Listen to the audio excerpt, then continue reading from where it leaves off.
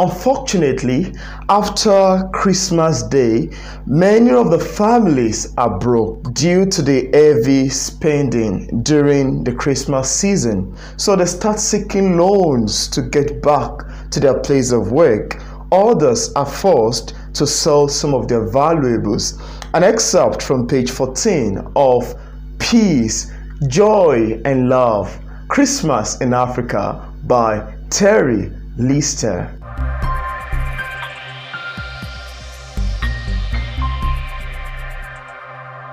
Hi guys, welcome back to my YouTube channel and to the review of Peace, Joy and Love Christmas in Africa by Terry Lister.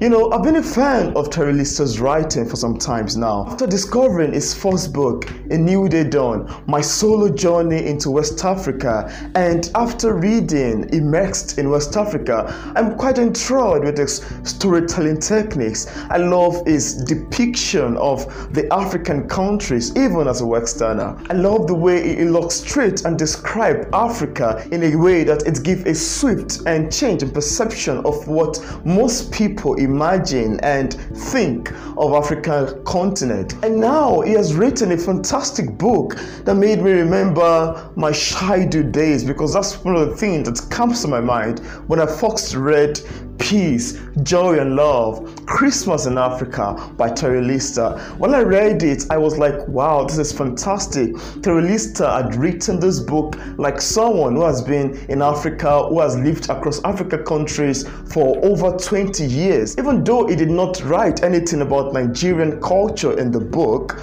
I was quite intrigued with it because the book left me thinking and kind of making a construct to compare the similarities and the difference that exists between Christmas celebration in Nigeria and some African countries. My review of this book is actually going to be a spoiler free. I won't be talking too much about the book. I'll just give you a short video book recommendation for you to have an idea of what Terry Lister has had to communicate in this his new release, which is very amazing to me. So before I move into it, I just want to tell you who Terry Lister is. I'd love to read to you his bio.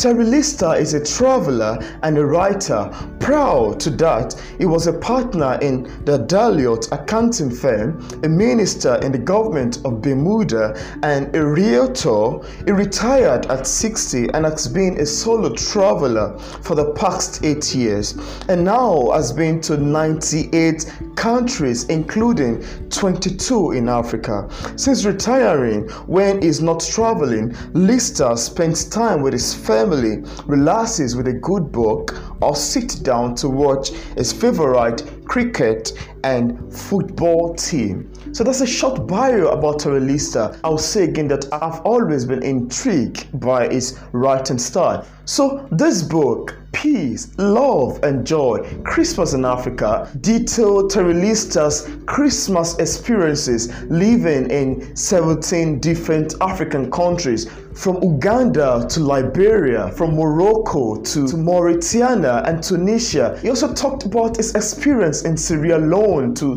Tanzania, from Rwanda to the Gambia, from the Ivory Coast to Ghana, Kenya, Namibia, Ethiopia, Senegal, Zimbabwe, and Cameroon.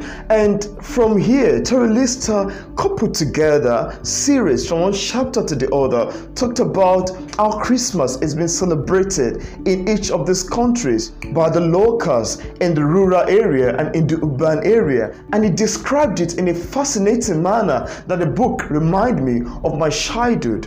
One of the things that intrigues me the most reading through this book is a series of similarities of cultures that actually between these African countries with my own country, Nigeria. I find out from Terry Lister's style of writing, most of the things that he talked about is very relatable to how Christmas is being celebrated here in Nigeria. He talked about Santa Claus being referred to as Father Christmas. He talked about how people people give their neighbors, you know, food and some other things to show their love for one another and to celebrate Christmas. And this is something that is very predominant in society. So that's one of the reasons why I was like, wow, this like Christmas celebration in some African countries are quite similar. Although Terry Lister was very keen enough to mention some countries that doesn't really celebrate Christmas like that in Africa. Talk about country like Morocco. You know, Morocco is one of those countries with a high population of Muslims and in Morocco, one of the things that struck me most is the fact that the book is actually quite educative. It's my first time getting to know about some fact. He wrote that Christmas is not very popular in Morocco and that the government even doesn't really recognize it like you know a public holiday. Because you know here in Nigeria we observe both Islam public holiday like Salah celebration. The government also observe you know Christmas celebration and some other places. So getting to hear about Morocco is quite very funny. And even how the government restrict Christians at, during Christmas from using public halls conference hall and they even place a law like, to, to make it very illegal for Moroccans to convert from Islam to Christianity.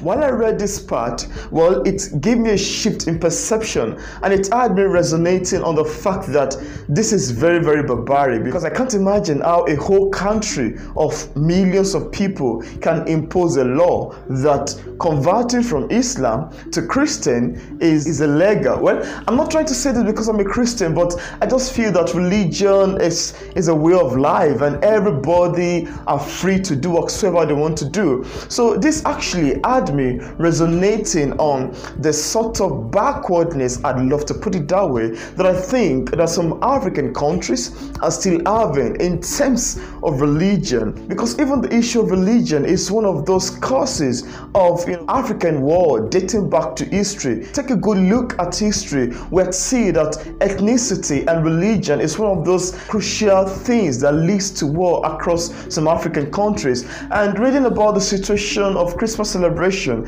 in Morocco is quite very funny to me. And I was like, wow, like seriously, that they even even mentioned, yeah, that reminds me, the mention of a section whereby the government plays a ban on the spread of Christian literature, which seems very funny to me. However, the book actually keep moving from one section to the other. I love the author's description of how Christmas is celebrated in And how he made mention of their cultures, the recitations during Christmas time, the dramas, and and the way people exchange gifts between one another. Then he made mention of one of the wise men that visited Jesus when he was born, was from Ethiopia, and that is King Bazen. Terry even wrote that he visited his tomb in Axum in Ethiopia. You know, when I read this part, I was like, wow, that's quite amazing. And if I ever had the opportunity to travel to Ethiopia, I'd love to visit this historical place.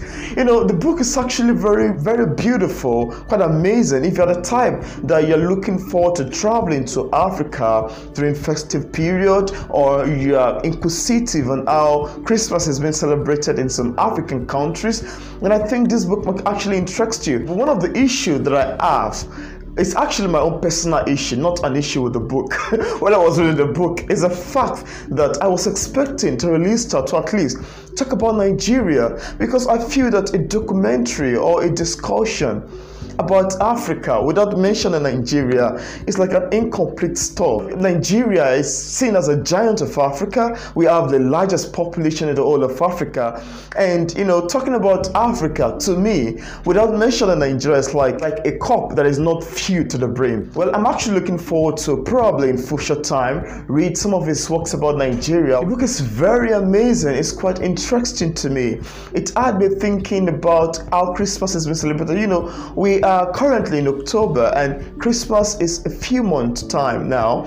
And you know, very soon everybody starts celebrating Christmas again. Even the while I read the book, especially the aspect of giving gift to people, it made me remember how Christmas was being celebrated in northern Nigeria because I lived in northern Nigeria for some for a good number of years. And then whenever the stuff is being ready, remember my cousin sister would make quite a lot of big meal in a very big iron pot in order to serve the neighbor Ivory with. Then we used to make something called tuwo shinkafa. It's like a sort of a meal prepared from broken rice and it looks like pounded yam once it's done or, or, or semo. Then it's been served together with either groundnut soup, krikeshi soup, you might not know what that is called, or some other, you know, soup in northern Nigeria. And will say, oh, Peter, it's high time. Get yourself together. We'll put it inside a very big basket and we'll start giving one neighbor and the other. I had to go to their door say, hello, knock on their gate. Said, hello, Merry Christmas. I'm here to give you a gift. I will say, Barka da, Christmas in Hausa language. It's, it's a very fun stuff to do. And when I read the book, it had me thinking about those days and even my childhood, how we receive gifts, I would light candle and do the decoration. From reading the book, I can feel the ambience of an African environment. It's, it's actually very nice, it's very beautiful. You know, it's, it's quite fun to hear someone put down something that you can actually relate to it. And the book actually got me thinking how Terry could come up writing this amazing book like someone who has lived like 20 years and experienced 20 years, you know, in Africa with, with Christmas celebration. It's quite very fun. And, you know, I'd also love to know more about how Christmas has been celebrated in some Western countries, in some different cultures like in Asia, in Europe, among the Chinese and Indian. It's quite interesting as we all have, you know, diverse cultures, beliefs, religion, and how things have been done. But one of the things that, you know, terrorists seek to communicate book is the fact that even though some of these African countries that he had mentioned and wrote about still lack some development, are still underdeveloped, and have quite a lot of large population of people that are poor. He made mention that even despite what they are passing through, everybody take it as a necessity to give out at least whatsoever they have to another person, to a neighbor during Christmas celebration, and the love to celebrate the, the birth of Jesus Christ and several other things. It's quite a nice one to read, and I really, really love it. I'm looking forward to reading more works from Terry Lister. If you love my review and you'd love to get a copy of Peace, Joy, and Love Christmas in Africa by Terry Lister, I left a link in the description part of this review for you to get a copy directly on Amazon. Ter- Terry is actually a fantastic writer, and I'm also recommending that if you love to know about you know, African countries, then you might also want to check up his memoir, Immersed in West Africa, or A New Day Dawn, My Solo Journey into West Africa. I left all the links in the description part of this review. Thank you so much for watching my short video book recommendation. If you're yet to click on the subscribe button, I want to urge you to please click on the subscribe button over there and don't forget to turn on the notification bell so you can get notified anytime I release new video. Thank you very much for watching my short video book recommendation of Peace, Joy and Love, Christmas in Africa by Terry Lister. See you in my next video. Goodbye.